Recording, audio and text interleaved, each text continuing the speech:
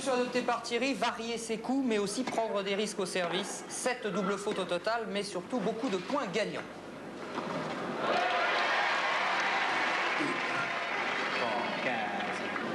Et puis une présence constante dans l'échange avec ce qu'il disait tout à l'heure, c'est-à-dire une alternance de coups frappés et de coups liftés. Les lifts qui ont notamment beaucoup gêné tout au long de la partie Orskov.